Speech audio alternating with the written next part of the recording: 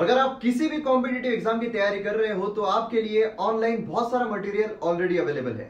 लेकिन ये मटेरियल दो तरीके के होते हैं। एक वो जो आपको आपके गोल तक लेकर जाता है, और दूसरा वो जो आपको वहीं पर गोल गोल गोल गोल घुमाता रहता है। तो डिपेंड आप पर करता है कि आपको कौन सा मटेरियल चूज़ करना है। एम एम अकेडमी ऐप ये एक ऐसा प्लेटफॉर्म है जहाँ पर आपको हाईएस्ट क्वालिटी कंटेंट के जो वीडियोस है, वो देखने को मिलेंगे।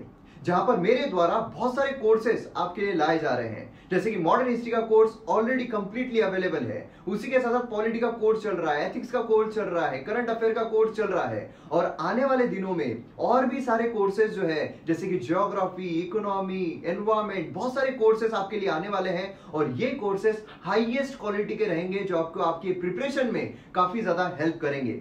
तो आप एम एम अकेडमी ऐप को डाउनलोड कीजिए और जो डेमो लेक्चर्स है, उन्हें एक बार देखिए।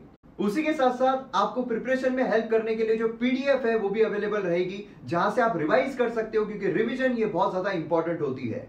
और एम एम अकेडमी ऐप ये पहला प्लेटफॉर्म है, जहाँ पर स्टूडेंट्स के साथ इंडिविजुअली मैं लाइव इंटरेक्ट करता हूँ, जहाँ पर उनके जितने भी डाउट्स होंगे, भले वो एकेडमिक हो या पर्सनल हो, वो सब मैं सॉल्व करता हूँ। तो जल्द से जल्द डाउनलोड कीजिए एम एम अकेडमी ऐप और वीडियोस को एंजॉय कीजिए। Hello everyone welcome to M M academy M M academy के इस स्ट्रैटेजी के कोर्स में मैं शशांक लखेर आप सभी का स्वागत करता हूँ। आज की वीडियो में हम डिस्कस करेंगे यूनेस्को में जो वर्ल्ड हेरिटेज साइट है इंडिया में। बात करूँगा मैं यूनेस्को की। यूनेस्को का जो फुल फॉर्म है, आपको पता है यूनाइटेड नेशंस के सिक्स ऑर्गन हैं, तरीके से सिक्स ऑर्गन है। और यूनाइटेड नेशंस यूनेस्को का फुल फॉर्म है United Nations educational scientific cultural organisation is a special organisation of United Nation तो बेसिकली ये एजुकेशनल साइंटिफिक और कल्चरल ऑर्गेनाइजेशन है, जिसे हम कहते हैं यूनेस्को। इसका एम क्या है? इसका एम ये है कि to promoting world peace security through international cooperation in education and the science and the culture तो बेसिकली जो भी यूनेस्को का काम है एजुकेशन एजुकेशनल साइट्स बनाना साइंटिफिक साइट्स बनाना कल्चरल ऑर्गेनाइजेशन बनाना। अब एजुकेशनल कैसे? देखिए, आप कहीं भी जाएँगे, जब अगर आपको पता चले कि यूनेस्को की साइट है, आप वहाँ पे देखेंगे उसको, उसके बारे में जानेंगे। तो आप में ऑटोमेटिक जो है एजुकेशन डेवलप होगी। एजुकेशन डेवलप होगी तो आप बिल्कुल शांत रहेंगे। आप देख लीजिएगा, जितने भी लोग हैं जो एजुकेटेड हैं, काफ़ी अच्छे, वो जितने एजुकेटेड होते जाते हैं, उतने वो शांत होते जाते हैं। सो बेसिकली ये यूनेस्को का एम है to promoting world peace and security through international cooperation in education and the science and culture so basically ये आपको ध्यान रखना है।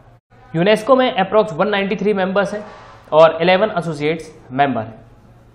यूनेस्को की हम बात करेंगे तो फोर्थ नवंबर 1945 को इस्टेब्लिशमेंट हुआ था। हेडक्वार्टर है पेरिस में पेरिस की कैपिटल है फ्रांस रूलिंग पार्टी है En Marche and president is Emmanuel Macron so remember this बात करूँ पेरेंट ऑर्गेनाइजेशन की तो United Nation economics and social council जो है, ये पेरेंट ऑर्गेनाइजेशन है। ये आपको याद रखना है, क्योंकि आपसे एग्ज़ाम में पूछा जा सकता है यूनेस्को की जो पेरेंट ऑर्गेनाइजेशन है, वो कौन सी है? तो बेसिकली यूनेस्को आता है United Nation economic and social council के अंदर। तो ये आपको ध्यान रखना है। हेडक्वार्टर की मैं बात करूँ तो न्यूयॉर्क यूएसए में हेडक्वार्टर है। और न्यूयॉर्क में ही हेडक्वार्टर है किसका? यूनिसेफ का। जिसके जो चीफ हैं, वो कहे कौन है? हेनरिएटा फोर सो बेसिकली ये आपको ध्यान रखना है। बात करेंगे हेरिटेज हेरिटेज होता क्या है? देखिए हेरिटेज कुछ इस तरीके का मोन्यूमेंट्स होता है, बहुत पुराना मोन्यूमेंट्स होता है, जो किसी कल्चर को, किसी मोस्ट मतलब जो बहुत इंपॉर्टेंट जो ट्रेडिशन है, और जो मीनिंग्स हैं, वहाँ की एक्टिविटीज़ हैं, वहाँ के बिहेवियर है, वहाँ पे लोग कैसे रहते थे, उनको जो दर्शाता है, उसे हम हेरिटेज कहते हैं। तो बेसिकली हेरिटेज को प्रिजर्व करना बहुत ज़रूरी होता है। उसको डिस्प्ले करना बहुत ज़रूरी होता है। और पुराने चीज़ों को कलेक्ट करके रखना, जो सब ये सब ये सब जो है एक हेरिटेज में आता है। और हेरिटेज से होता क्या है? हेरिटेज से हमारा जो पुराना कल्चर है, उसको हम प्रमोट करते हैं, लोगों को बताते हैं। जैसे अगर आप रेड फ़ूड घूमेंगे कभी रेड फ़ूड अगर आप गए हैं तो वहाँ पे अंदर अगर आप जाएँगे तो वहाँ पे 20 चीज़ें हैं रेड फोर्ट के अंदर। रेड फोर्ट में इतनी सारी चीज़ें हैं, जैसे छाता बाज़ार है और दीवाने आम है, दीवाने खास है। तो जब आप अंदर जाएँगे तो आपको ये सब चीज़ें देखने को मिलेंगी। उसके बाद मैं आपको बता दूँ तो रेड फोर्ट में जो म्यूज़ियम है, वहाँ पे आप जाएँगे जब अंदर तो वहाँ पे आप सब देखेंगे कि किस तरीके के जो थे मुगल्स, जो हैं अपनी जो किस तरीके का उनका ट्रेंड रहा है, किस तरीके से वो रहते थे, किस तरीके से उनका जो लड़ने के लिए तैयार होते थे, जब युद्ध होता था तो किस तरीके से वो जो है, अपने आप को तैयार करते थे। आपको वहाँ स्वाड देखने को मिलेगी, उनकी किस तरीके की स्वाड होती थी। तो बेसिकली ये सब चीज़ें जो है, एक हेरिटेज है, जो हमारी पुरानी सभ्यता रही है, पुराने जो लोग रहे हैं, वो किस तरीके से रहते थे। तो बेसिकली हम इसे हेरिटेज कहते हैं। यूनेस्को की साइट की बात करें, हम पूरे वर्ल्ड वाइड तो वर्ल्ड हेरिटेज साइट्स की अगर हम बात करें तो जून 2020 के हिसाब से पूरे वर्ल्ड में 1121 वर्ल्ड हेरिटेज साइट्स हैं। जिससे 167 स्टेट्स में लोकेटेड है। उसकी अगर मैं बात करूँ तो जिसमें 869 कल्चरल है 230 नेचुरल है एंड 39 आर मिक्स्ड प्रॉपर्टीज़ बात करूँगा कि सबसे ज़्यादा वर्ल्ड हेरिटेज साइट कहाँ है वर्ल्ड में तो सबसे ज़्यादा है इटली में। इटली की कैपिटल है रोम। बात सेकंड में, अगर आप देखेंगे तो सेकंड में आपको मिलेगा चाइना। चाइना आपको मिलेगा, और चाइना में 55 यूनेस्को वर्ल्ड हेरिटेज साइट्स हैं। फिर आपको मिलेगा स्पेन। स्पेन में 48 यूनेस्को साइट्स हैं। और स्पेन की कैपिटल है मैड्रिड, चाइना की कैपिटल है बीजिंग, जर्मनी की कैपिटल है Berlin and Christian Christian Democratic Union is the ruling party and vice chancellor is Angela Merkel basically आपको ध्यान रखना है। And Bundestag is the parliament of Germany 46 UNESCO site आपको देखने को मिलेंगी। फ्रांस में 45 आपको देखने को मिलेंगी। भारत में आपको 37 देखने को मिलेंगी। नाउ बट इट्स 38 इंडिया में अब जो है 38 है। तो बेसिकली ये आपको ध्यान रखना है, क्योंकि रिसेंटली जयपुर को ऐड किया गया है। जयपुर जो है, उसको वर्ल्ड हेरिटेज सिटी बना दिया गया है। And Mexico is the Mexico 35 UNESCO world heritage sites तो Mexico capital is Mexico City so basically remember this अब बात करते हैं कि यूनेस्को कैसे डिक्लेयर करता है साइट्स को, उनका क्राइटेरिया क्या है। तो देखिए कल्चरल साइट्स के लिए सबसे मेन है कि वो एक मास्टर पीस हो, वो एक रिप्रेजेंट करता है एक मास्टर पीस को, जो ह्यूमन क्रिएटिव जीनियस हो, उसको ह्यूमन ने क्रिएट किया हो, किस तरीके से मतलब आप देखेंगे जस्ट लाइक आप रेड फोर्ट तो रेड फोर्ट आप देख लीजिए, आप ताजमहल देख लीजिए तो ह्यूमन ने उसको क्रिएट किया है और सबसे शानदार चीज़ों में से वो एक है। तो वो बिल्कुल एक मास्टर पीस होना चाहिए। उसके अलावा, उसमें उसकी कुछ ह्यूमन वैल्यूज़ होना चाहिए, उसका कल्चरल एरिया होना चाहिए कुछ। और आर्किटेक्चर में डेवलपमेंट होना चाहिए। जैसे जो इंजीनियर्स ने इतना अच्छा काम किया है, उसमें डेवलपमेंट किया है, उसमें टेक्नोलॉजी होना चाहिए। और उसका टाउन प्लानिंग बहुत अच्छी होना चाहिए। टाउन प्लानिंग भी देखी जाती है। मॉन्यूमेंटल आर्ट्स देखा जाता है। लैंडस्केप डिज़ाइन देखी जाती है। तो बेसिकली ये जो है कुछ क्राइटेरिया है। और उसके साथ साथ वो एक यूनिक होना चाहिए। बिल्कुल उसका जो ट्रेडिशन है और वो किसी कल्चरल या कल्चरल ट्रेडिशन को या सिविलाइजेशन को दर्शाता हो। तो बेसिकली ये तीन क्राइटेरियाज हैं। और क्राइटेरियाज की हम बात करें तो एक आउट आउटस्टैंडिंग एग्ज़ाम्पल होना चाहिए बिल्डिंग का, कि बहुत ही अलग बिल्डिंग है। ठीक है? उसके साथ साथ उसमें आर्किटेक्चरल टेक्नोलॉजिकल जो लैंडस्केप जो है वो होना चाहिए। और उसके साथ साथ, और अगर आप देखेंगे तो उसमें कुछ ह्यूमन सेटलमेंट्स रहे हों कि जो ह्यूमन रहते थे, वहाँ पे उन तरी, उनका कल्चर ऐसा था, वो इस तरीके से रिप्रेजेंट करते थे अपने कल्चर को, वो इस तरीके से रहते थे, इस तरीके से वो खाते थे, इस तरीके से जो है वो अपना जो है बिज़नेस करते थे या छोटा मोटा जो भी काम करते थे। तो बेसिकली ये जो है इस तरीके से डिक्लेयर करता है यूनेस्को जो वर्ल्ड हेरिटेज साइट होती है। नेचुरल की अगर हम बात करें तो नेचुरल जैसे कुछ नेशनल पार्क हैं और वाइल्ड लाइफ सेंचुरीज हैं, उनको यूनेस्को ने वर्ल्ड हेरिटेज साइट डिक्लेयर किया है। तो बेसिकली कुछ नेचुरल फेनोमिनॉन होना चाहिए उनका। उनका एरिया जो है नेचुरल ब्यूटी में होना चाहिए। मतलब वो एक नेचुरल ब्यूटी के लिए जाने जाते हो, तब डिक्लेयर करता है। उसके साथ साथ वो एक आउटस्टैंडिंग एग्ज़ाम्पल होना चाहिए कि वो किसी अर्थ की हिस्ट्री को या किसी चीज़ को दर्शाए। जैसे आप देख लीजिए, असम में है काजीरंगा। काजीरंगा फ़ेमस है किसके लिए? वन हॉर राइनो के लिए। तो बेसिकली इस तरीके से कुछ खासियत होना चाहिए कहीं ना कहीं पे। तो बेसिकली इस तरीके से आप समझ सकते हैं कि जो नेचुरल साइट जो डिक्लेयर करी जाती हैं तो किस तरीके से उसको डिक्लेयर किया जाता है। तो बेसिकली और और अगर मैं बात करूँ तो मोस्ट इंपॉर्टेंट जो है वो सिग्निफिकेंट नेचुरल हैबिटेंट्स होना चाहिए। वहाँ पे बायोलॉजिकल डाइवर्सिटी होना चाहिए। और वहाँ पे जो आ, एक जो आप जिसको भी डिक्लेयर कर रहे हैं नेचुरल वर्ल्ड हेरिटेज साइट तो वहाँ पे कुछ ना कुछ जो है वो यूनिवर्सल वैल्यू भी होना चाहिए। अब बात करेंगे हम इंडिया की कि भारत में कितनी वर्ल्ड हेरिटेज यूनेस्को साइट हैं। तो भारत में जो है 38 वर्ल्ड हेरिटेज साइट्स हैं जो भारत में लोकेटेड हैं। और जो हमारे 28 स्टेट्स हैं उनमें ये लोकेटेड है। और उसके साथ साथ अगर मैं बात करूँ आपसे तो हमारी 30 जो है कल्चरल साइट्स हैं। सेवन हमारी नेचुरल साइट है और वन जो है वो मिक्स्ड क्राइटेरिया साइट्स है। और भारत जो है वो सिक्स नंबर पे आता है वर्ल्ड हेरिटेज साइट्स पे। बात करेंगे कि कहाँ कहाँ लोकेटेड है तो सबसे पहले अजंता केव्स जो महाराष्ट्र में औरंगाबाद में स्थित है। 1983 में इसको डिक्लेयर किया गया था कि ये वर्ल्ड हेरिटेज यूनेस्को साइट है। और ये 30 rock cut Buddhist cave monuments है, जो आपको सेकेंड सेंचुरी बीसी का आपको देखने को मिलेगा। और ये जो सिचुएटेड है, वो औरंगाबाद डिस्ट्रिक्ट महाराष्ट्र में सिचुएटेड है। एलोरा केव्स की बात करेंगे। एलोरा केव्स भी महाराष्ट्र में है और ये 1983 में इसको UNESCO world heritage site declare किया गया था। बेसिकली ये 34 फोर मोनेस्ट्री एंड टेम्पल्स जो है, वो पूरे दो किलोमीटर में फैले हुए हैं। और ये जो है औरंगाबाद महाराष्ट्र में सिचुएटेड है। Basically remember this and the monuments dating from A D six hundred to one thousand तो बेसिकली ये जो है एंशंट लाइफ एंशंट लाइफ को दर्शाते हैं। तो भारत की जो एंशंट सिविलाइजेशन थी, वो उसको दर्शाते हैं। आप अजंता केव्स देख लीजिए, आप एलोरा केव्स देख लीजिए। Ajanta caves Ellora caves paintings के लिए भी फ़ेमस है, वहाँ पे पेंटिंग्स भी हैं। आगरा फोर्ट की हम बात करेंगे उत्तर प्रदेश में। तो 1983 में इसको जो है हिस्टोरिकल फोर्ट जो है आगरा का इसको जो है यूनेस्को वर्ल्ड हेरिटेज साइट इसको डिक्लेयर कर दिया गया था। और ये मेन एम्पर मेन रेजिडेंस रहा है जो मुगल के जो एम्पर रहे 1638 तक। उसके बाद फिर जो जो कैपिटल है वो आगरा से दिल्ली शिफ्ट कर ली गई। तो बेसिकली बिफोर ब्रिटिश के आने से पहले ये जो लास्ट रूलर थे वो थे कौन? मराठास। तो बेसिकली आपने अगर पानीपत देखी है, आपने अगर पानीपत देखी है तो उसमें रहता है कौन? अहमद शाह अब्दाली। और दूसरी तरफ़ रहते हैं मराठास। जब थर्ड बैटल ऑफ़ पानीपत होता है, और उस समय मराठास कैप्चर कर लेते हैं किसको? दिल्ली को। महाबलीपुरम टेम्पल्स जो तमिलनाडु में है, उसको 1984 में UNESCO world heritage site declare कर दिया गया था। तो ग्रुप ऑफ़ मॉन्यूमेंट्स जो है महाबलीपुरम में, और ये कलेक्शन है सेवनटीन और एट्थ सेंचुरी का जो रिलीजियस मॉन्यूमेंट्स हैं, उनका, और महाबली, महाबलीपुरम के जो टेम्पल्स हैं वो कहाँ पे है? महाबलीपुरम का टेंपल तमिलनाडु में। तो फिर 1984 में वर्ल्ड हेरिटेज साइट्स डिक्लेयर कर दिया गया था।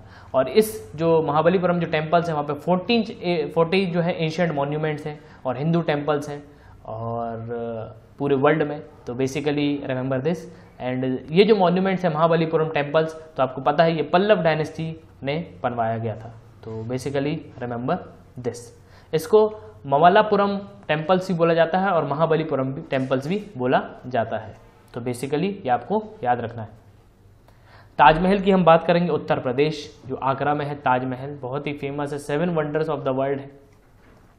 ताजमहल जो है, उसको क्राउन ऑफ़ पैलेस भी कहा जाता है। ये आइवरी वाइट मार्बल का जो है बनाया गया है। और ये जो मार्बल आया था, वो राजस्थान से आया था बेसिकली और इसको सॉरी और ताजमहल जो है वो यमुना रिवर के बैंक में स्थित है। Means it is situated at the bank of river Yamuna. And it was commission in 1632 by the Mughal emperor Shah Jahan तो बेसिकली ये आपको ध्यान रखना है। और, जो शाहजहां हैं, उनने अपनी वाइफ के लिए ये बनवाया था, उनकी जो वाइफ थी मुमताज़। तो और फिर उसके बाद जो है, जो शाहजहां को भी यहीं दफना दिया गया था। और मैं आपको बता दूँ तो 42 एकड़ में ये पूरा कॉम्प्लेक्स बना हुआ है। इसमें मॉस्क भी है इसमें गेस्ट हाउस भी है इसमें फॉर्मल गार्डन्स भी हैं और इसको मतलब आ, पूरे प्रॉपर टाउन प्लानिंग है वो आपको देखने को इसमें मिलेगी। तो प्रॉपर टाउन प्लानिंग हमने देखा था कि अगर प्रॉपर टाउन प्लानिंग है तो यूनेस्को साइट डिक्लेयर कर दिया जाता है। और ताजमहल को 1983 में जो है वर्ल्ड हेरिटेज साइट डिक्लेयर किया गया था और ये ज्वेल ऑफ़ मुस्लिम आर्ट कहा जाता है इंडिया में। और जिसने इसको डिज़ाइन किया था, उसका नाम था इब्न इशाक। जहाँ तक मुझे याद है, उसका नाम इब्न इशाक था। उसका जो, इसका जो आर्किटेक्चर था, वो इब्न इशाक था। और जब शाहजहां ने ये बनवाया था तो इब्न इब्न इशाक से इसको कहा था कि कि जब कोई भी इसको ऐसा बनाना कि कोई भी इसको देखे तो उसके बिल्कुल दिल में बस जाए ताजमहल। और ये बात बिल्कुल सही है। अगर आप ताजमहल गए हैं तो अगर आपने उसको सामने से देखा है तो उसकी खूबसूरती ही बहुत अलग है। It is so beautiful monuments in the world और ये एक बहुत ही बड़ा एग्ज़ाम्पल है। और बेसिकली मैं आपको बता दूँ what is the base UPSC में क्वेश्चन आ गया था। What is the base of Taj Mahal Taj Mahal किसकी तर्ज पे बना है? किसकी बेस पे बना है? तो बेसिकली अगर मैं बात करूँ तो हुमायूं टॉम हुमायूं टॉम आप देख लीजिए बिल्कुल आपको सेम स्ट्रक्चर देखने को मिलेगा। ऐसे ही आपको चार पिलर देखने को मिलेंगे और ये तीन गुंबज आपको देखने को मिलेंगी। बेसिकली ये जो है आ, मुगल आर्किटेक्चर का ये तरीका ही था डोम होनी चाहिए। डोम तो बहुत ज़रूरी है। और वैसे भी तीन डोम आप देखेंगे तो अधिकतर जगह आपको तीन डोम मिलेंगी ही। तो basically this is some information about Taj Mahal. Basically remember this and बात करेंगे सन टेंपल की। सन टेंपल जो कोनार्क उड़ीसा में है और फ़र्स्ट ये टेंपल होगा इंडिया में, जो 100 परसेंट सोलर से चलेगा। So basically remember this sun temple, सूर्य मंदिर जो है कोनार्क ओडिशा में, जो 1984 में इसको UNESCO world heritage site declare किया गया था। आप देख सकते हैं कुछ इस तरीके का दिखता है कोनार्क टेंपल। और कुनाक सन टेंपल जो है और इसको कुनाक सूर्य मंदिर भी बोलते हैं। ये थर्टी सेंचुरी का है और ये जो है उड़ीसा में, पुरी में आपको देखने को मिलेगा। So basically basically it is situated in Puri और अगर मैं बात करूँ तो इसको नरसिम्हा देव जो ईस्टर्न गंगा डायनेस्टी के थे, उन्होंने जो है इसको एट्रीब्यूट किया था और उन्होंने इसको बनवाया था। और ये जो है हिंदू जो हमारे जो गॉड हैं, सूर्य, सन, उनको ये डेडिकेटेड है। काजीरंगा नेशनल पार्क, काजीरंगा की हम बात करें तो असम में है। काजीरंगा मनास ओरांग। तो ये जो है आपको देखने को मिलेंगे कहाँ पे? आ, जो है असम में देखने को मिलेंगे Dihing Patkai. Dihing Patkai wild life sanctuary इसको नेशनल पार्क बना दिया गया तो ये भी असम में है। तो बेसिकली असम की कैपिटल है क्या? Dispur. And Sarbananda Sonowal is the chief minister and governor Jagdish Mukhi. Kaziranga national park की हम बात करेंगे। काजीरंगा नेशनल पार्क जो है असम में है। 1985 में इसको जो है वो UNESCO world heritage site declare किया गया था। और ये नेशनल पार्क है जो गोलहट, करबी और एनालोंग और नागौन डिस्ट्रिक्ट पे सिचुएटेड है असम में। और ये सेंचुरी जो है वो two third of the world greatest one horn rhino को जो है होस्ट करती है। तो बेसिकली आपको दो तिहाई से भी ज़्यादा मतलब टू टू थर्ड से भी ज़्यादा जो आपको वन हॉर्न राइनो है वो यहाँ पे आपको देखने को मिलेंगे तो basically Kaziranga is famous for one horn rhino and it is situated in Assam. And in 1985, it is declared as UNESCO World Heritage Site. Manas की मैं बात करूँ Manas wild life sanctuary Assam में है 1985 में इसको भी जो है जो UNESCO world heritage site declare कर दिया गया था Manas national park Manas wild life sanctuary जो है UNESCO natural world heritage site है और इसमें प्रोजेक्ट टाइगर भी इंप्लीमेंट कर दिया गया। ये प्रोजेक्ट टाइगर रिज़र्व है, एलिफेंट रिज़र्व है, बायोस्फीयर रिज़र्व है, असम में है ये।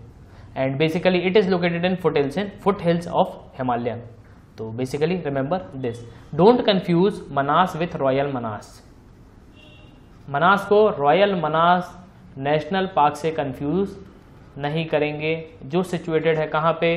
जो सिचुएटेड है भूटान में। So basically remember this Bhutan capital is Thimphu Keoladeo national park Keoladeo national park जो है वो राजस्थान में है। इसको 1985 में, इसको भी जो है जो भरतपुर बर्ड सेंचुरी है, इसको डिक्लेयर कर दिया गया था क्या? जो यूनेस्को वर्ल्ड हेरिटेज साइट है, वो इसको डिक्लेयर कर दिया गया था। एंड रिमेंबर यहाँ पे आपको थाउजेंड्स ऑफ़ बर्ड्स देखने को मिलेंगी। Over 230 species of bird are known to be resident तो बेसिकली आपको यहाँ पे 230 स्पीचीज से भी ज़्यादा जो बर्ड्स हैं, वो आपको देखने को मिलेंगी। और उसके साथ साथ ये एक मेजर टूरिस्ट सेंटर है, आपको जो है राजस्थान में देखने को मिलेगा। And remember it is declared as the sanctuary in 1971 so it is a world heritage site churches and convents of Goa so Khajuraho temples की हम बात करेंगे। खजुराहो जो टेम्पल्स हैं, वो मध्य प्रदेश में स्थित है 1986 में। और मध्य प्रदेश में आपको सिर्फ़ तीन ही जो है यूनेस्को वर्ल्ड हेरिटेज साइट मिलेंगी। एक सांची स्तूप है, एक खजुराहो का टेंपल है। And you will find one more so basically आपको तीन जो है मध्य प्रदेश में आपको यूनेस्को वर्ल्ड हेरिटेज साइट देखने को मिलेंगी। खजुराहो ग्रुप ऑफ़ मॉन्यूमेंट्स जो हैं, और बेसिकली ये जो फ़ेमस हैं, इसको चंदेल राजाओं ने बनवाए थे मध्य प्रदेश में। तो बेसिकली ये जो है खजुराहो ग्रुप ऑफ़ मॉन्यूमेंट्स जो है, वो हिंदू टेम्पल्स को डेडिकेटेड है और जैन टेम्पल्स को डेडिकेटेड है। तो बेसिकली आपसे ये क्वेश्चन यूपीएससी में पूछा जा सकता है, Khajuraho temples associated with which तो रिलीजन तो बेसिकली हिंदू से हैं और जैन टेंपल से हैं। तो ये आपको ध्यान रखना है। और ये छतरपुर डिस्ट्रिक्ट में है मध्य प्रदेश में। और ये जो है, एक वर्ल्ड हेरिटेज यूनेस्को साइट्स हैं और ये अपने फ़ेमस है नागरा स्टाइल के लिए। तो बेसिकली आपको पता है कि दो स्टाइल होते हैं, एक नागरा स्टाइल और एक द्रविड़ स्टाइल और अगर मैं बात करूँ तो जो राम टेंपल बन रहा है हमारा, जो अयोध्या में, वो भी नागरा स्टाइल का ही एग्ज़ाम्पल है। तो बेसिकली वो नागरा स्टाइल में बनेगा। तो आपको ये चीज़ ध्यान रखना है। और अगर मैं बात करूँ तो खूब जो और भी खजुराहो टेम्पल्स हैं, वो 1958 950 एडी से 1050 एडी तक बनाए गए हैं। और इनको चंदेल डायनेस्टी ने बनाया था। और जो सबसे ज़्यादा टेम्पल्स बनाए थे, वो राजा धंग ने बनवाए थे। Raja Dhang. Nobody will tell you this तो खजुराहो ग्रुप ऑफ़ टेम्पल्स जो हैं, वो एक साथ बनाए गए थे और ये हिंदू और जैनिज्म दोनों जो हैं रिलीजन को दर्शाते हैं। सो बेसिकली रिमेंबर दिस तो बेसिकली खजुराहो जो ग्रुप ऑफ़ टेम्पल्स हैं, वो आपको खजुराहो में देखने को मिलेंगे, जो आपको छतरपुर डिस्ट्रिक्ट में मिलेंगे। एंड बेसिकली uh, जो ये जो एसोसिएटेड है इनको चंदेल डायनेस्टी से एसोसिएटेड है। तो बेसिकली रिमेंबर दिस ये कई बार क्वेश्चन पूछा जाता है। और 1986 में इसको वर्ल्ड हेरिटेज साइट डिक्लेयर कर दिया गया था। मॉन्यूमेंट्स एट हम्पी हम्पी की अगर हम बात करें तो जो हम्पी के मॉन्यूमेंट्स हैं वो 1986 में जो है आपको पता है हम्पी जो है वो कर्नाटका में है। और बेसिकली इन आपको ये बताना है कि किस कितने के नोट में आपको हम्पी जो है वो पिक्चर देखने को मिलेगा। हम्पी का पिक्चर जो है वो कितने रुपीज़ के नोट में जो है वो प्रिंट किया गया है? तो बेसिकली ये क्वेश्चन आपको बताना है। बेलारी डिस्ट्रिक्ट में कर्नाटका में है ये। और ये जो है हम्पी ये जो लास्ट कैपिटल रही है हिंदू किंगडम जो विजयनगर जो रहा है, और जिसके जो किंग रहे हैं कृष्णदेव राय और आपको वहीं पे मिलेंगे कौन? तेनाली रामा, जो बहुत फ़ेमस थे। तो बेसिकली रिमेंबर दिस और मैं आपको बता दूँ कि फ़र्स्ट गन पाउडर का यूज़ भी विजयनगर में ही किया गया था। क्योंकि अगर हम पूरे इंडिया की बात करेंगे कि भारत में किसने किया था तो विजयनगर के जो किंग थे, कृष्णदेव राय, उन्होंने ये किया था। उनको ये पुर्तगीज़ जो थे, पुर्तगाल ने ही इनको जो है तो बताई थी।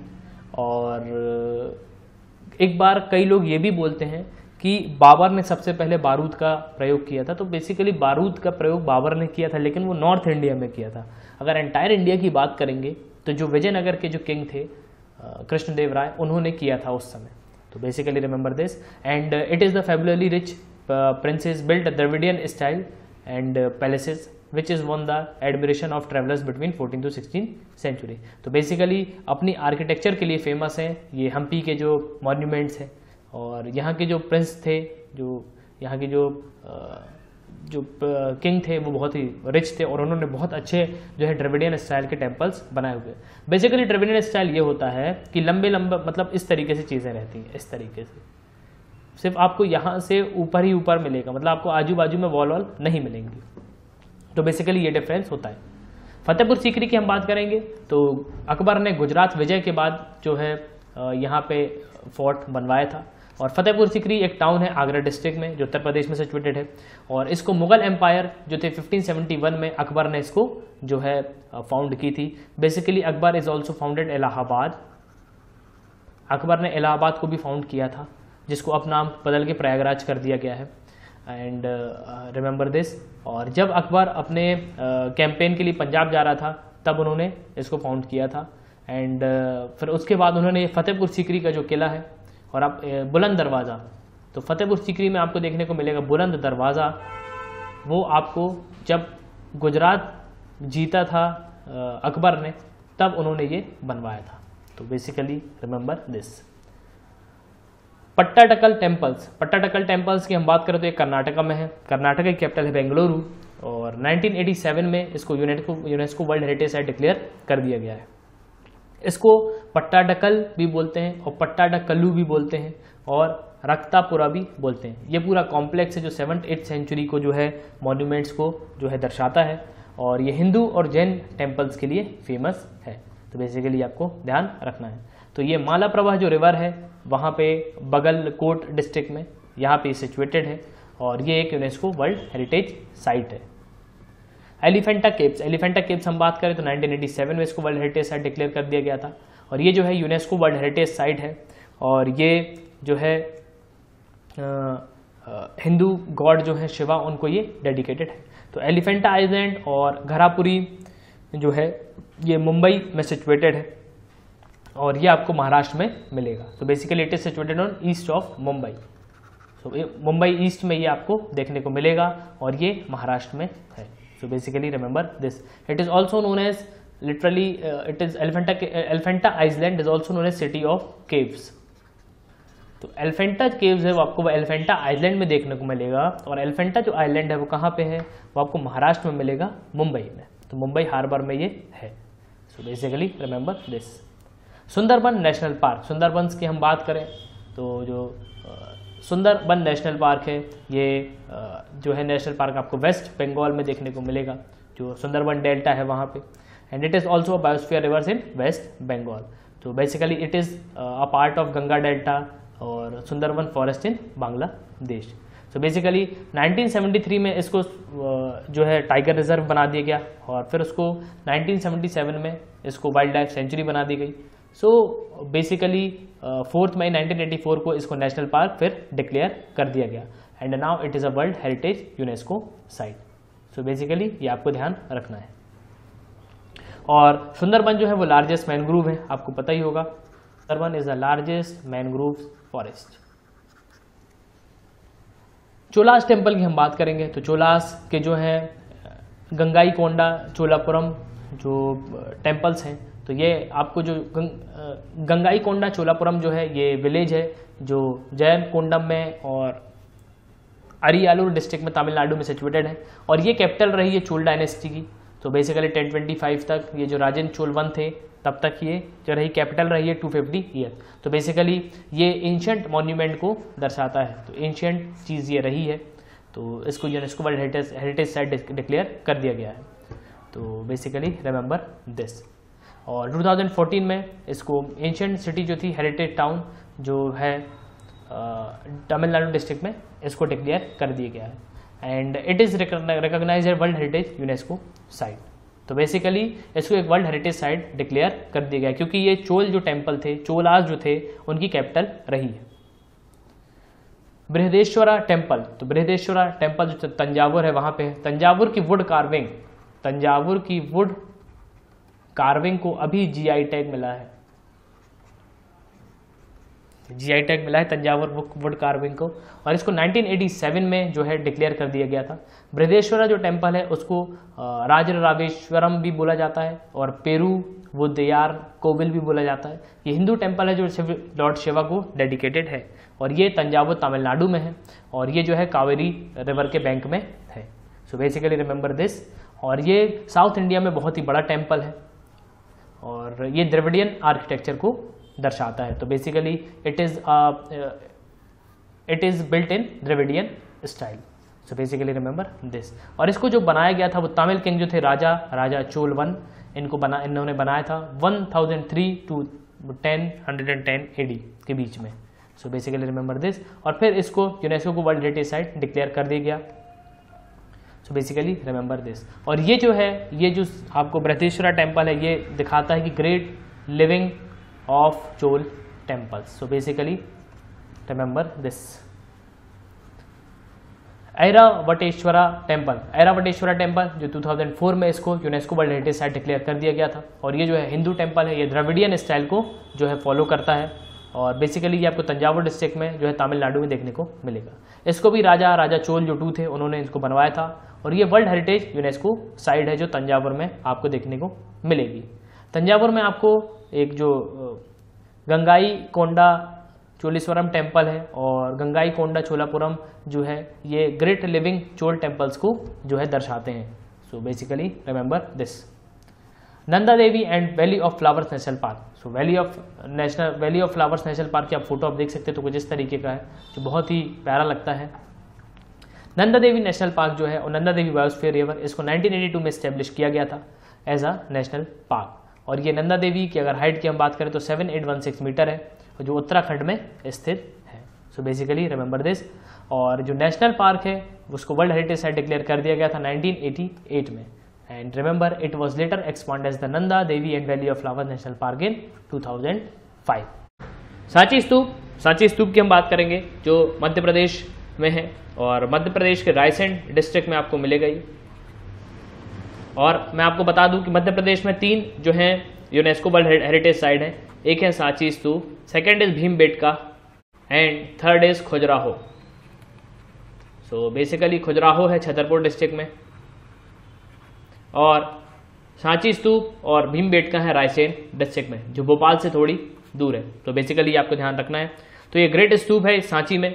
ये ओल्डेस्ट स्टोन स्ट्रक्चर है इंडिया का। और भारत के लिए बहुत ही ज़्यादा इंपॉर्टेंट मॉन्यूमेंट है। इसको जो है एम्पर अशोक ने बनवाया था जो मौर्य डायनेस्टी के थे थर्ड सेंचुरी बीसी में। So basically it is located in district Raisen of Madhya Pradesh so remember this और इसको यूनेस्को हेरिटेज साइट डिक्लेयर किया गया था 1989 में। तो ये भी आपको ध्यान रखना है। और हमने बात की थी यूनेस्को की तो यूनेस्को का थोड़े से रिवीजन कर लीजिए। यूनेस्को का जो हेडक्वार्टर है वो है पेरिस में। पेरिस है कैपिटल फ्रांस की। फ्रांस के प्रेसिडेंट है इमरल मैक्रॉन पार्टी है एन मार्शे और अगर मैं बात करूँ तो यूनेस्को जो है हेरिटेज साइट डिक्लेयर करता है। और इसके जो चीफ है वो Audrey Azoulay Audrey Azoulay is the chief of UNESCO so basically ये आपको ध्यान रखना है।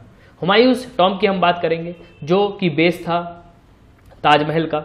ये बार ये क्वेश्चन जो है यूपीएससी में पूछा भी जा चुका है कि ताजमहल का बेस क्या था? तो बेसिकली जो बेस था, बनाने का वो था हुमायूं की टॉम। और जो हुमायूं टॉम है, वो दिल्ली में है 1993 में इसको यूनेस्को वर्ल्ड हेरिटेज साइट जो है डिक्लेयर कर दिया गया था। हुमायूं टॉम जो है, वो सेकंड मुगल एम्प्रर थे दिल्ली के। बाबर बाबर के बेटे थे हुमायूं। बाबर 1526 में आया था इंडिया और उसने इंडिया में इन्वेट किया था और फिर उसके बाद बैटल हुआ था। तो basically first battle of Panipat जो है, वो बाबर ने ही लड़ा था। और ये जो टॉम्ब है, ये हुमायूं की जो फ़र्स्ट वाइफ थी, उन्होंने इसको जो है बेगा बेगम उन्होंने इसको बनवाया था। And it is design by it is designed by Mirak Mirza Ghiyas and his son Sayyid Muhammad so basically आपको ध्यान रखना है। 1570 में ये जो टॉम्ब है, इसको बनाया गया था। And it is also first garden tomb of Indian subcontinent. Qutub Minar की बात करेंगे। कुतुब मीनार को बनाया था कुतुबुद्दीन ऐबक ने। गौरी जब आता है तो मोहम्मद गौरी जो है, वो यहाँ से इन्वेट करके कुतुबुद्दीन ऐबक को यहाँ पे छोड़ के चला जाता है। तो कुतुबुद्दीन ऐबक जो जो सूफी संत होते हैं, एक उनका नाम कुतुब काकी रहता है शायद, उनका नाम जो है, और उनके नाम पे ही इसका नाम रखा गया था। सो so बेसिकली ये आपको ध्यान रखना है। और कुतुब मीनार जो है, वो विक्ट्री टावर के नाम से भी जाना जाता है और यूनेस्को वर्ल्ड हेरिटेज साइट में इसको डिक्लेयर कर दिया गया था। ये मेहरू महरौली जो एरिया है न्यू दिल्ली का, वहाँ पे ही सिचुएटेड है। तो बेसिकली जो हाइट है वो 72.5 मीटर्स है और अगर हम बात करें तो टॉलेस्ट माइनरेट है जो ब्रिक का बना हुआ है। तो बेसिकली ये आपको ध्यान रखना है। और मैं आपको बता दूँ तो इसमें जो फिफ्थ फ्लोर बनवाया था, वैसे तो देखिए कुतुबुद्दीन ऐबक ने इसका फाउंडेशन रखा था। जो फाउंडेशन है, वो ऐबक ने रखा था। उसके अलावा इसका जो कंप्लीट जो करवाया था, वो करवाया था किसने? इल्तुतमिश ने। ने इसको करवाया था। और जो फिफ्थ फ्लोर है, वो बनवाया था फिरोज शाह तुगलक ने। सो रिमेंबर दिस और इसके अलावा अगर मैं बात करूँ कुतुबुद्दीन ऐबक की तो कुतुबुद्दीन ऐबक ने एक चीज़ और बनवाई थी, जिसको हम कहते हैं अढ़ाई दिन का झोपड़ा। और जमियत खाना मस्जिद। सो बेसिकली आपको ध्यान रखना है। अढ़ाई दिन का झोपड़ा and Jamat Khana Masjid is also built by Qutbuddin Aibak. So basically ये आपको ध्यान रखना है। और मैं आपको बता दूँ कि कुतुबुद्दीन, ऐबक ने इसका फाउंडेशन रखा था, फिर इसको जो है, इसका काम जो है, तुतमिश ने पूरा करवाया था, और फिर उसके बाद जो है फिफ्थ फ्लोर बनवाया था फिरोज शाह तुगलक ने। तो बेसिकली ये सब आपको ध्यान रखना है। माउंटेन रेलवे जो है दार्जिलिंग की, उसको जो है वर्ल्ड हेरिटेज यूनेस्को साइट जो है डिक्लेयर किया गया है। सो बेसिकली तीन है माउंटेन रेलवे ऐसी दार्जिलिंग हिमालयंस है और कालका शिमला है। तो बेसिकली हम ये सब डिस्कस करेंगे। दार्जिलिंग हिमालयन रेलवे की हम बात करें तो इसको D H R toy train के नाम से जाना जाता है। तो जो गेज है रेलवे का वो टू फिट का है और ये जल, जलपाईगुड़ी से लेकर दार्जिलिंग तक चलती है which is in West Bengal so basically remember this और इसको जो है 1879 से लेके 1881 पे बिल्ड किया गया था और ये 88 किलोमीटर की जो है लॉन्ग ट्रेन रूट है। और इसको 2 दिसंबर 1999 में जो है UNESCO world heritage site declare कर दिया गया था। और अगर मैं आपसे बात करूँ दार्जिलिंग की तो दार्जिलिंग वही सिटी है जहाँ पे सबसे ज़्यादा टी प्रोड्यूस होती है। I am talking about city not state अगर मैं स्टेट की बात करूँ तो तो आंसर चेंज हो जाएगा आंसर हो जाएगा असम। और हमारा जो टी बोर्ड है वो कहाँ पे है? तो टी बोर्ड का जो हेडक्वार्टर है, वो है कैलकाटा में। तो ये आपको ध्यान रखना है, ये तीन चीज़ें। और इसके अलावा जो है माउंटेन रेलवे ये बहुत ही खूबसूरत रेलवे है जो आपको वेस्ट बंगाल में देखने को मिलेगी। कुछ इस तरीके की ये जो है ट्रेन होती है। नीलगिरी माउंटेन रेलवे की हम बात करेंगे। जो नीलगिरी माउंटेन रेलवे है, वो जो है थ्री फिट का इसका गेज है, जो तमिलनाडु में है। और इसको ब्रिटिश ने बनवाया था 1908 में। और ये जो है साउदर्न रेलवे इसको ऑपरेट करता है। अब, एक चीज़ और आपको ध्यान रखना है, नया रेलवे जोन भी बन गया है, जिसे हम सेवनटीन रेलवे जोन कहते हैं, साउथ कोस्ट रेलवे जिसका हेडक्वार्टर है विजय मतलब विशाखापट्टनम। तो बेसिकली ये भी आपको ध्यान रखना है। 2005 में इसको यूनेस्को हेरिटेज साइट डिक्लेयर कर दिया गया था। बात करेंगे कालका शिमला शिमला रेलवे की, और अगर आप इसमें नहीं बैठे हैं और कभी नहीं गए, अगर आप कभी भी जाएँगे तो ज़रूर इस पर आप बैठें। आपको कालका से शिमला जाना पड़ेगा। बेसिकली ये हरियाणा में एक जगह है तो वहाँ से ये शुरू होती है। और वहाँ से आपको फिर शिमला जाना पड़ेगा। आपको कम से कम इसमें हंड्रेड से प्लस आपको टनल देखने को मिलेंगी। मेरा पर्सनल एक्सपीरियंस है, मैं खुद गया हूँ, और ये बहुत अच्छी ट्रेन है। आप ज़रूर जाएँ इसमें। बस बुकिंग का ध्यान रखें कि बुकिंग पहले करवा लें, नहीं तो बहुत प्रॉब्लम होगी। तो बेसिकली कालका शिमला जो रेलवे है, वो टू फिट और सिक्स का नैरो गेज है ये। रेलवे जो है वो नॉर्थ इंडिया में सिचुएटेड है, जो माउंटेन्स रूट से कालका से शिमला जाती है। और बहुत अच्छा व्यू आपको देखने को मिलेगा। और बेसिकली मैं आपको बता दूँ कि जो शिमला है, वो ऊपर है मतलब ऊपर है इन द सेंस ऊपर वहाँ पे घर बने हुए हैं और बेसिकली जो रेलवे स्टेशन है वो नीचे है। तो बेसिकली आपको नीचे से ऊपर जाना पड़ता है। तो बहुत ही अच्छी जगह है। और जो इसको UNESCO world heritage site declare किया गया था, वो second of July eighth of July 2008 में इसको डिक्लेयर किया गया था, कालका शिमला रेलवे। और हो सके तो आप विंटर्स में जाएँ। और अगर हो सके तो आप इस विंटर्स में जाएँ। सो बेसिकली आपको ध्यान रखना है कि वर्ल्ड हेरिटेज साइट है कौन सी? कालका शिमला रेलवे। महाबोधि टेंपल तो महाबोधि टेंपल जैसे बोध गया भी बोलते हैं, जो बिहार में है। 2002 में इसको वर्ल्ड हेरिटेज साइट डिक्लेयर कर दिया गया था। महाबोधि टेंपल और महाबोधि महावीरा टेंपल इसको बोला जाता है। यूनेस्को वर्ल्ड हेरिटेज साइट है। और आप जानते ही हैं कि जो बौद्ध गया है, वो बहुत ही फ़ेमस प्लेस है, क्योंकि यहीं पे जो है लॉर्ड बुद्धा को, जो हमारे गौतम बुद्ध हैं, उनको जो है एनलाइटमेंट हुआ था। तो बेसिकली आपको ध्यान रखना है। तीन जगह बहुत फ़ेमस है, एक तो सारनाथ, एक है लुम्बिनी एंड अनदर इज़ बौद्ध गया। तो ये आपको ध्यान रखना है, जो पटना में 96 किलोमीटर है पटना से बौद्ध गया। और महाबोधि टेंपल जो है, बौद्ध गया में लोकेटेड है, और ये 2002 में इसको वर्ल्ड हेरिटेज साइट डिक्लेयर कर दिया गया था। और यहीं पे जो है, जो गौतम बुद्ध थे, उनको एनलाइटमेंट हुआ था। Rock shelter of Bhim Betika तो भीम बेटका की जो केव्स हैं, जो मध्य प्रदेश में रायसेन डिस्ट्रिक्ट में है इनको 2003 में UNESCO world heritage site declare कर दिया गया है। तो भीम बेटका के जो रॉक शेल्टर्स हैं ये आ, ये एक आर्कोलॉजिकल साइट है सेंट्रल इंडिया में। और इसमें आपको पेलियोलिथिक एंड मेजियोलिथिक पीरियड्स के जो हैं वो चीज़ें आपको मिलेंगी जो पत्थर है वो मिलेंगे। और बेसिकली यहाँ पे ह्यूमन लाइफ के जो ट्रेसेस हैं वो मिले हुए हैं। और एविडेंस मिले हैं स्टोन एज के कि यहाँ पे शुरू हुई है। स्टोन एज पे पहले यहाँ पे काम होता था लोग यहाँ रहते थे। सो बेसिकली ये जो है रायसेन डिस्ट्रिक्ट में सिचुएटेड है मध्य प्रदेश में और ये यूनेस्को वर्ल्ड हेरिटेज साइट है और जो इसको 2003 में डिक्लेयर कर दिया गया था। So basically you have to remember this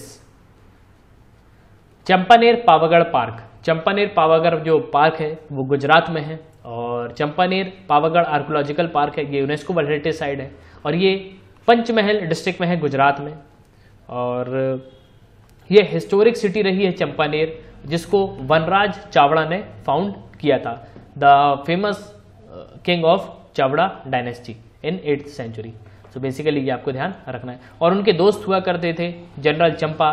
तो उन्हीं के नाम पे उन्होंने इसको नाम रख दिया इनका, जो है चंपानेर. और जिनको चंपा राजा भी जाना जाता है.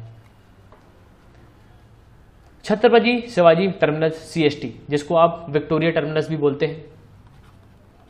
आपने सुना होगा विक्टोरिया टर्मिनस, जो मुंबई में है, महाराष्ट्र में है।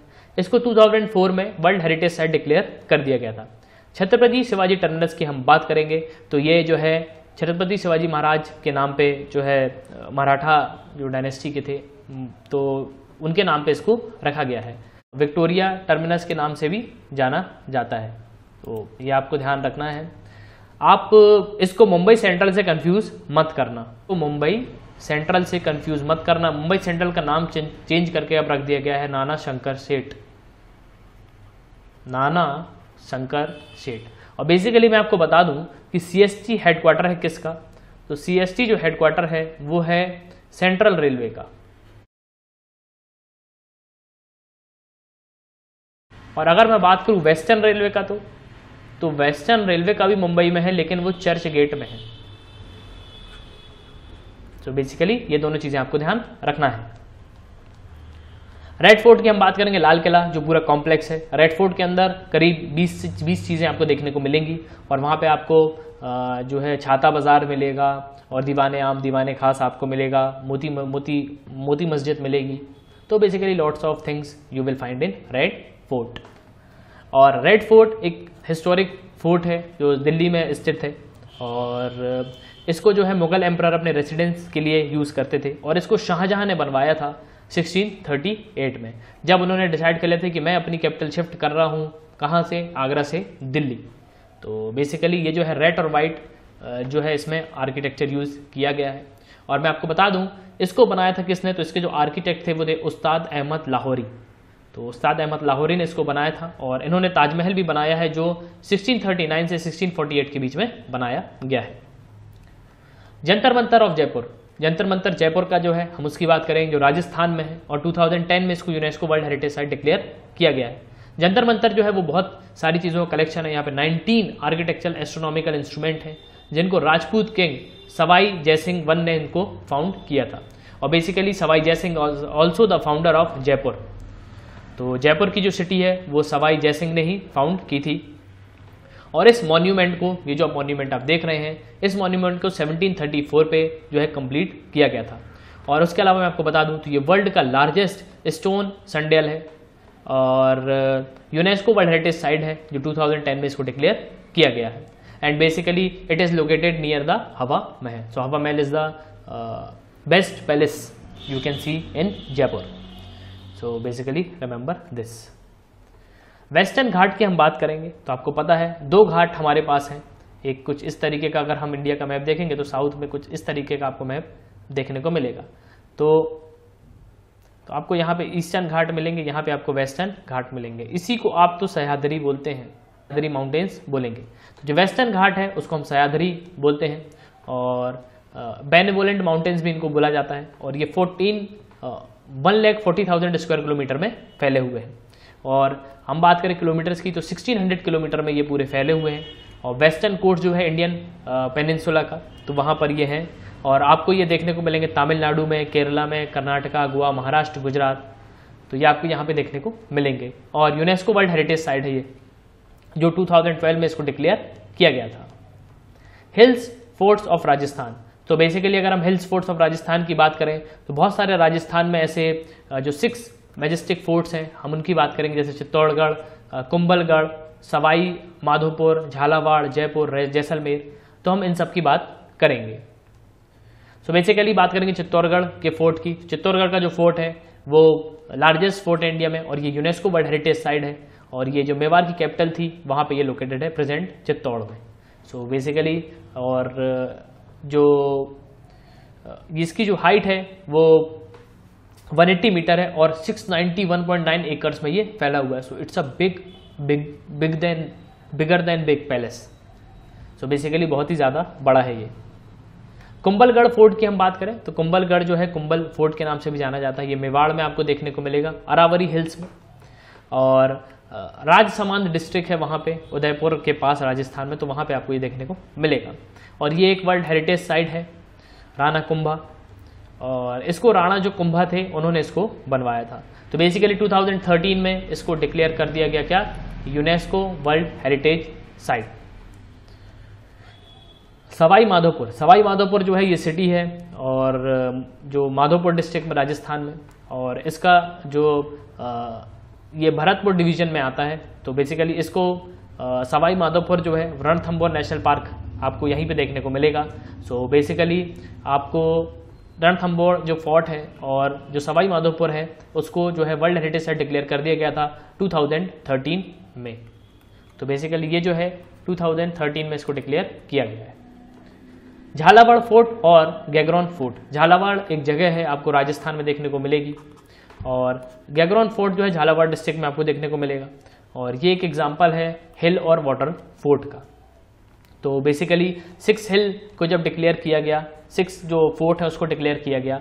तो उसमें से एक जो था, वो झालावाड़ फोर्ट भी था और इसको UNESCO world heritage site declare कर दिया गया था 2013 में। जयपुर फोर्ट की हम बात करेंगे। जयपुर फोर्ट आमेर का किला भी इसे बोला जाता है। आमेर की ही थी कौन? जो जोधाबाई थी। अकबर। सो बेसिकली आपको ध्यान रखना है। आमेर फोर्ट, इसको अंबर फोर्ट भी बोला जाता है। आमेर राजस्थान में लोकेटेड है। और ये जो है आपको इसको जो बिल्ड किया गया था वो मीनास जो थे, उन्होंने इसको बिल्ड किया था। जब 37 सेशन हुआ यूनेस्को वर्ल्ड हेरिटेज कमेटी का तो उसमें 2013 में आमेर के फोर्ट को जो है अदर फोर्ट के साथ, जो पाँच फोर्ट और हैं, उनके साथ जो है वर्ल्ड हेरिटेज साइट डिक्लेयर कर दिया गया। जैसलमेर फेट की फोर्ट की हम बात करेंगे। जैसलमेर जो बहुत ही खूबसूरत सिटी है, और ये जैसलमेर जो है, राजस्थान में सिचुएटेड है।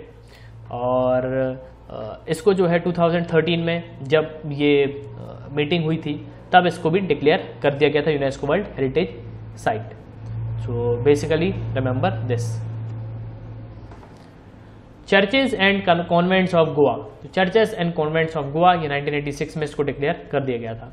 तो churches and convents of old Goa is name given by UNESCO so basically it is a religious monument in Goa तो इसको 1986 में जो है वर्ल्ड हेरिटेज साइट डिक्लेयर कर दिया गया था।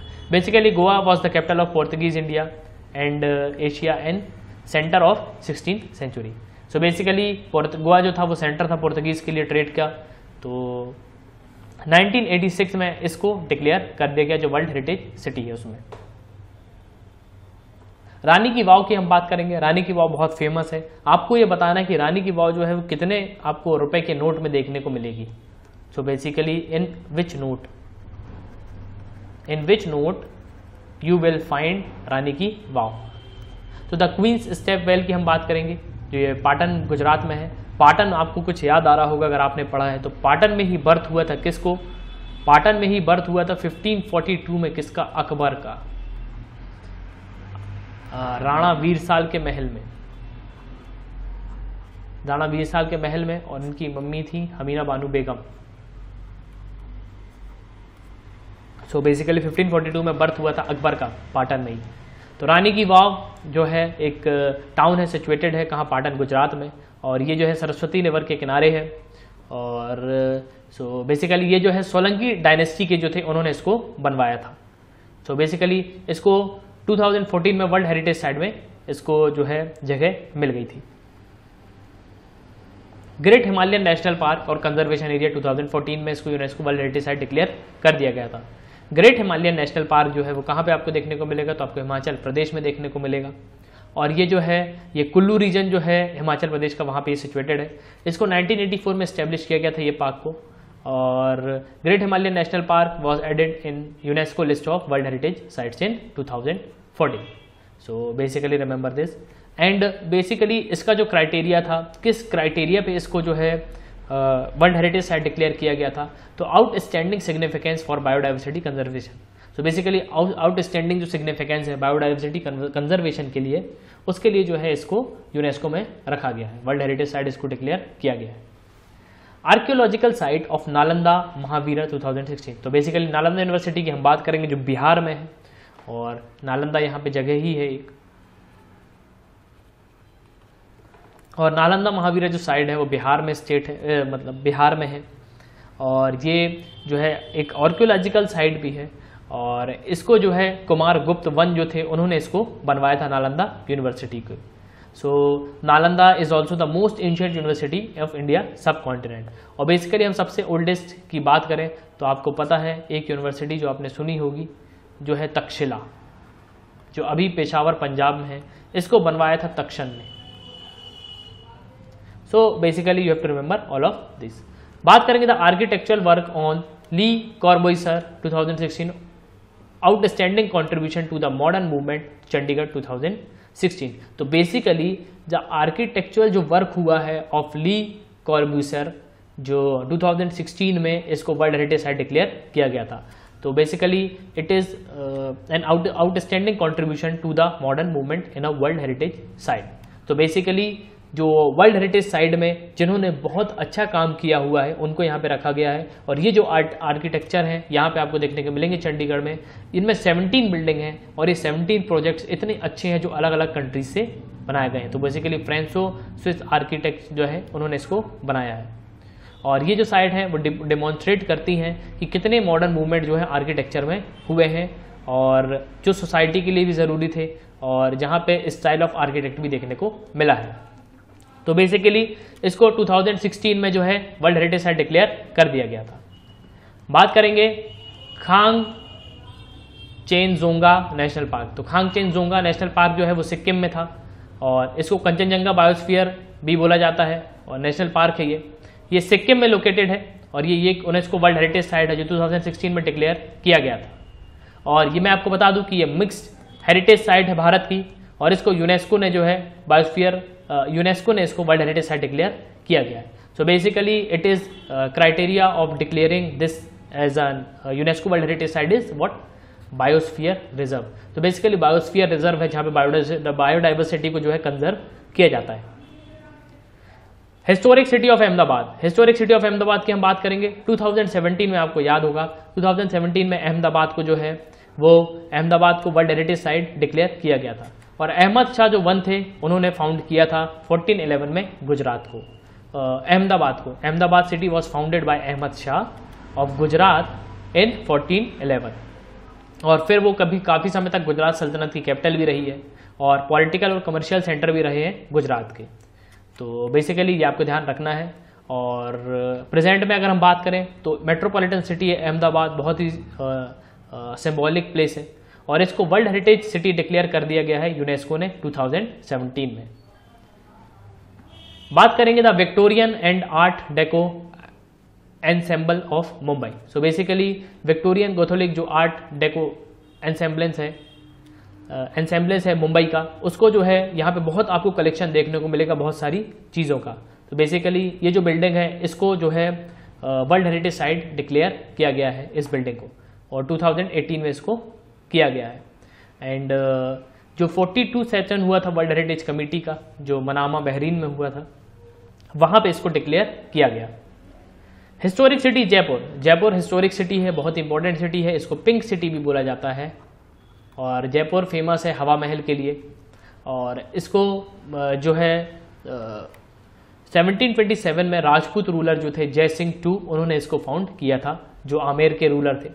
और सिक्स जुलाई 2019 को इसको UNESCO world heritage site declare कर दिया गया। इसको पिंक सिटी ऑफ़ इंडिया भी बोला जाता है और उसके साथ साथ अगर मैं बात करूँ तो यहाँ पे आपको आम, आमेर फोर्ट मिलेगा जंतर मंतर मिलेगा। तो बेसिकली जयपुर को तो जयपुर में आपको बहुत सी चीज़ें देखने को मिलेगी। Jaipur is the capital of Rajasthan so basically ये थे पूरे यूनेस्को वर्ल्ड हेरिटेज साइट। हमने पूरे जो है यूनेस्को वर्ल्ड हेरिटेज साइट देख लिए कि भारत में कितने यूनेस्को वर्ल्ड हेरिटेज साइट हैं। हमने ये भी देखा है कि यूनेस्को कैसे डिक्लेयर करता है वर्ल्ड हेरिटेज साइट और उसके क्या क्राइटेरिया है, यूनेस्को का हेडक्वार्टर कहाँ है, यूनेस्को कब डिक्लेयर करता है कि ये यूनेस्को वर्ल्ड हेरिटेज साइट है। प्रॉपर टाउन प्लानिंग होनी चाहिए, प्रॉपर सिस्टमेटिक अरेंजमेंट होने चाहिए, तब डिक्लेयर करा जाता है कि हाँ ये एक यूनेस्को वर्ल्ड हेरिटेज साइट है। तो basically to promote the tourism to promote the education basically for this UNESCO declare world heritage site to maintain peace in the world so उम्मीद करता हूँ कि यहाँ पे आपको बहुत कुछ जानने को मिला होगा। So God bless, God bless you. Goodbye. See you in the next videos of MM Academy.